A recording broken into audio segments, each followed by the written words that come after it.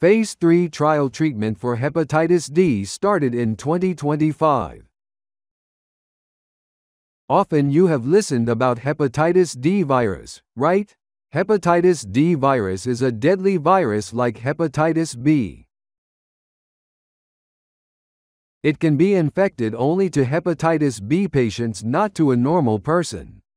Because hepatitis D or Delta virus can live and grow with the hepatitis B virus only. Hepatitis delta virus treatment is not available properly worldwide at the moment. In US and European countries treatment option is limited. However, people living with hepatitis B and D both viruses have a higher risk of irreversible liver damage and life-threatening complications. A co-infected patient's condition can be worse.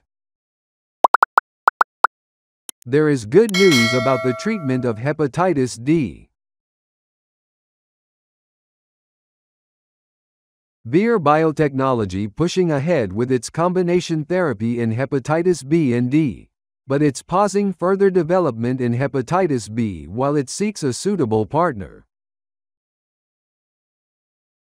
In 2024, Vir arrived at a liver disease conference with phase 2 trials data showing that two combination regimens utilizing its drugs tobevibart and elebsiran were able to reduce hepatitis B surface antigens.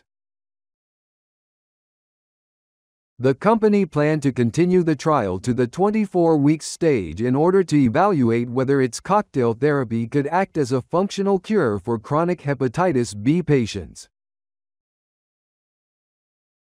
According to the biotech's fourth quarter earnings release, Vir Biotechnology still expects this data in the second quarter of the year. What is the future development of CHB treatment? The future advancement in CHB will be contingent on securing a worldwide development and commercialization partner outside of Greater China, Vir Biotechnology official said in the press release. This is required to make best enable further development in this area of high unmet need. The company explained. However, in 2025, GSK made a similar move, ending work on one potential functional cure for hepatitis B as it prioritized another in the form of bepirovirsen. Vir Biotechnology will be steaming ahead with plans to launch a phase 3 trial of tobevibart elebsiran combo for the treatment of hepatitis D in the first half of 2025. Early efficacy results from a phase 2 trial last summer suggested the treatment may pose a threat to Gilead Sciences' stuttering attempt to capture the hepatitis D market. No hepatitis D treatments are yet approved in the US, where Gilead's bulevirtide was deleted away by the FDA in 2022. Gilead has since submitted a filing intended to fix the manufacturing and delivery concerns raised in the agency's complete response letter. Whereas bulevirtide is already available in Europe. The main motto of the Phase 3 trial Vir Biotechnology also has two solid tumor focused dual masked T cell engager programs in Phase 1 trials. The third trial will be started this year around June 2025. In Phase 2 trial, called Solstice Study as NCTO 5461170 show the treatment combo suppressed the hepatitis delta virus known as HDV or hepatitis D. The result is normalized a liver damage marker in hepatitis D patients.